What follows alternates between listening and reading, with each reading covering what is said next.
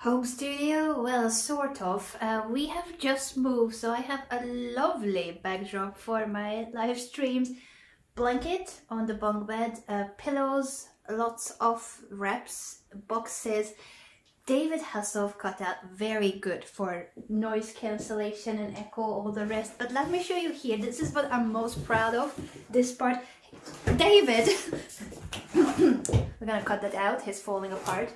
This sheet and behind the sheet, double layer, double layer, ladies and gentlemen. Anything to prevent that echo in the room.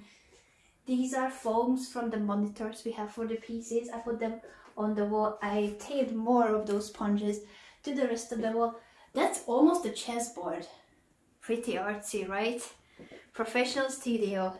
Say bye, David. See you guys soon on Twitch.